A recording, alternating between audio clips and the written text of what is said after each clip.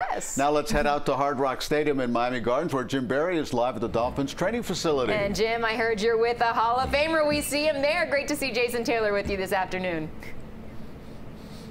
Absolutely. Boy, you guys really covered it all. And you're right. These are exciting times for us and exciting times for the Miami Dolphins. And with all the big offseason changes, I can tell you the optimism here is absolutely through the roof. New coach, new players, new attitude, new philosophy, new everything. But yes, Jason Taylor, who I think is the most exciting defensive player in Dolphin history, is going to be back in the booth with us. And certainly we are thrilled that he is going to be part of the team once again. And JT, with a new head coach, I think the preseason takes on a more important tone, doesn't it? It does. I think you know you're trying to instill a new culture, and a new philosophy, obviously new schemes offensively and defensively. So you still won't see some of the veteran guys really go long in the preseason. You know, you might get some guys inactive for the first game, but with it only being three games now and them shortening it up a little bit, it's going to be it's going to be interesting to see how how McDaniel's does the, the strategy of getting guys ready, learning a new system, but obviously you know, as we get older, we don't want to do a whole lot in August. That's right. So you brought up Mike McDaniel, the new head coach, and there's two things that people tell me time and again about him. A,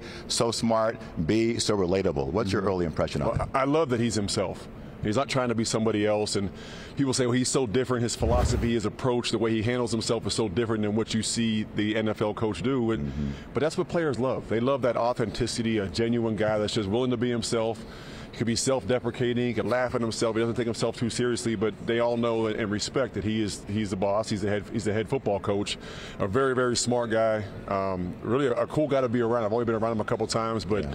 I've enjoyed it. And, and, I know talking to the players, they have really enjoyed the. I don't want to say breath of fresh air because of, you know the, the, previous coach was was a good guy in a lot of ways too, but it's just different. Right. And maybe this team needs different. And now you know it's it's you know everyone everyone's all in. It's ten toes down and trying to get ready for the season. Let's see what happens. Well, of course, uh, I don't care who the coach is. You can't win unless you got talent. And boy, the Dolphins in the offseason certainly went out to get it. They got mm-hmm. the cheetah, Tyreek Hill, and boy, he and Tua have become best buddies just like that. Tua was just on his podcast. What do you make of this instant bond between those well, two? Well, they need to have that bond. I mean, obviously, uh, Waddle's a, a, great player, had an amazing season last year, and he's going to be even better this year, I think. And mm-hmm. Tua needs to find that guy, you know, outside of Waddle, and it's obviously they, they brought in the cheetah for for a reason. He's one of the most dynamic and electrifying receivers in the NFL paid a lot of money to get him here. They're going to use him in a lot of different ways. I know Coach McDaniels is, is probably chopping the bit to get him in the scheme and the designs and do all these different things with him. And your quarterback needs to find his best receiver, or 1A and 1B, him, he and Waddle, yeah. and take him to dinner, do everything you need to do. If you need to buy him a car, you need to buy him a house. Wow.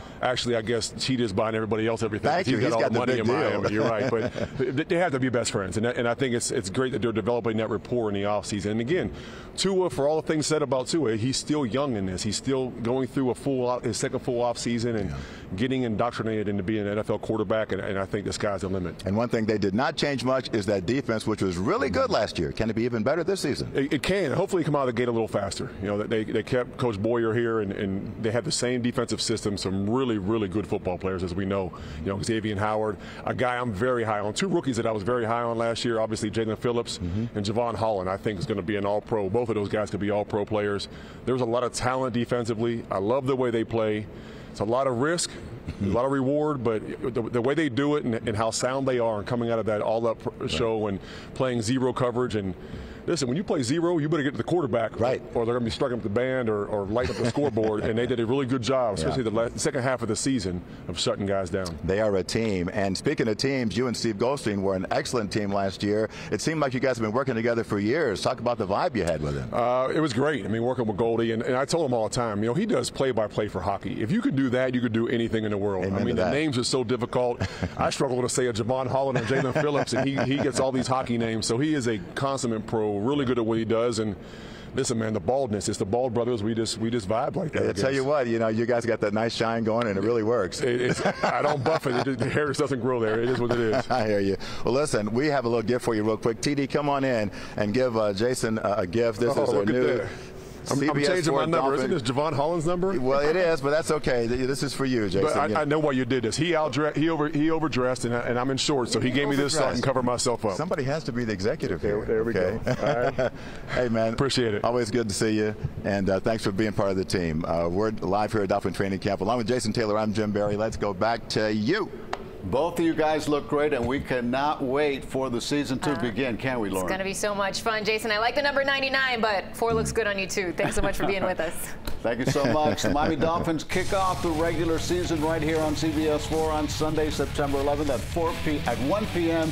as they open the season against their AFC East rivals, the New England Patriots. Also, don't miss the Miami Dolphins podcast, The Fish Tank, Saturday nights at 7:30 on CBS 4, hosted by Seth Levitt and former Dolphins wide receiver OJ McDuffie, as they go in depth for interviews and much more each and every week. CBS 4 is also the home of the Nat Moore Trophy that honors the top high school football player in South Florida.